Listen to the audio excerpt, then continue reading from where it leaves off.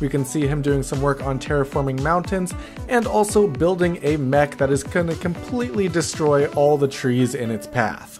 Fwhip has definitely been doing a lot of very interesting stuff on this server, and I think this build looks absolutely incredible. He wants to build up a garage for it too, so it'll be great to see that and see when this invasion actually takes place.